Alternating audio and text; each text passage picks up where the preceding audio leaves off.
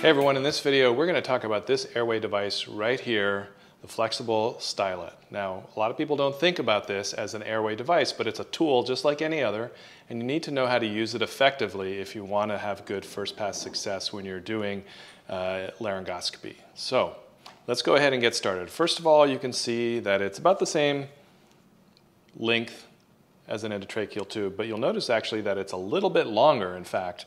And so one of the first uh, errors that many people make is when they're inserting this is pushing this all the way down like this. They think, oh, it must be designed to fit all the way in and you just push it down like this. Well, this is actually a mistake for a couple of reasons. One, this doesn't give you any room on the proximal end to, to be able to pull this out when you need to uh, using the technique we're going to show you, and I'll get into that a little bit later.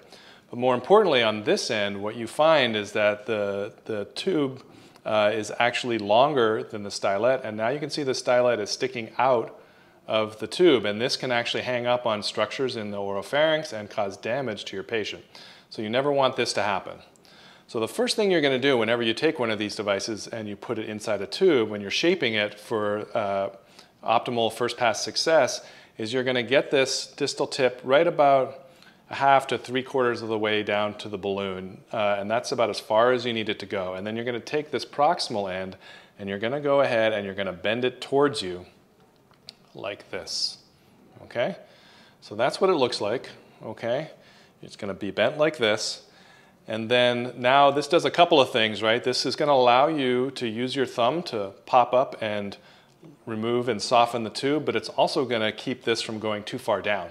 This is going to be basically a stopper that will keep this from going all the way through the, proximal, the distal end of the tube.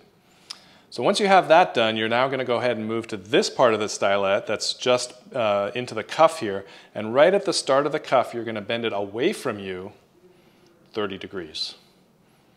So that's the shape that I want you to get. You're going to have this, what we call straight to cuff format, where it's straight all the way here until it gets to the proximal end of the cuff, and then it goes 30 degrees in this hockey shape format. That's what it looks like. Okay? So, uh, go ahead and practice that a little bit, and then we're going to go ahead and move on to how you use this to intubate.